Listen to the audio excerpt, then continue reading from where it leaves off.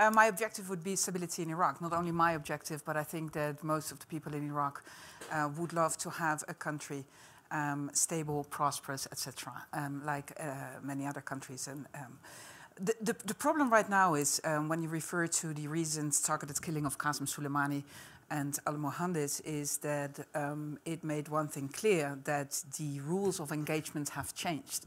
And many people think, maximum restraint, maybe this is the end. But frankly, I don't think we have seen the end of it yet.